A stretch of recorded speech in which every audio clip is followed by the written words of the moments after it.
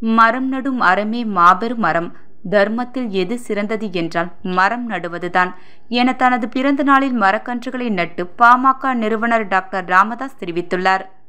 விழுப்புரம் மாவட்டம் திண்டிவனம் அடுத்த கோனேரிக்குப்பம் பகுதியில் டாக்டர் ராமதாஸ் கல்வி அறக்கட்டளைக்கு சொந்தமான இடத்தில் பாமக நிறுவனர் டாக்டர் ராமதாஸ் அவர்களின் எண்பத்தி ஆறாவது பிறந்தநாளை முன்னிட்டு எண்பத்தி ஆறு மரக்கன்றுகள் நடும் நிகழ்ச்சி நடைபெற்றது. பாமக நிறுவனர் டாக்டர் ராமதாஸ் அவரின் மனைவி சரஸ்வதி அம்மையார் பாமக கௌரவ தலைவர் ஜி கே மணி உள்ளிட்டோர் கலந்து கொண்டனர். பின்னர் பாமக நிறுவனர் டாக்டர் ராமதாஸ் பேசுகையில் சென்ற ஆண்டு இதே நாளில் எண்பத்தி ஐந்து மரங்கள் நடப்பட்டன. மற்றும் இந்த ஆண்டு ஒன்று சேர்ந்து எண்பத்தி ஆறு மரங்கள் நட்டிருக்கிறோம். இந்த மரங்கள் எல்லாம் பதினைந்து வருடங்களுக்கு பிறகு பணமாக காய்க்கும் மரங்கள் சாதாரணமாக இல்லை பணம் காய்க்கிற மரங்கள்.